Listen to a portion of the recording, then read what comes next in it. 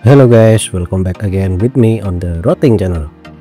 Okay, this time I will discuss again one of the free VPS full root access. Okay, let's go straight to the discussion.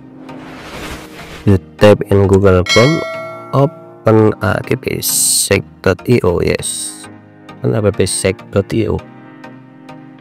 Okay, here you just choose uh, playground, yeah. just click playground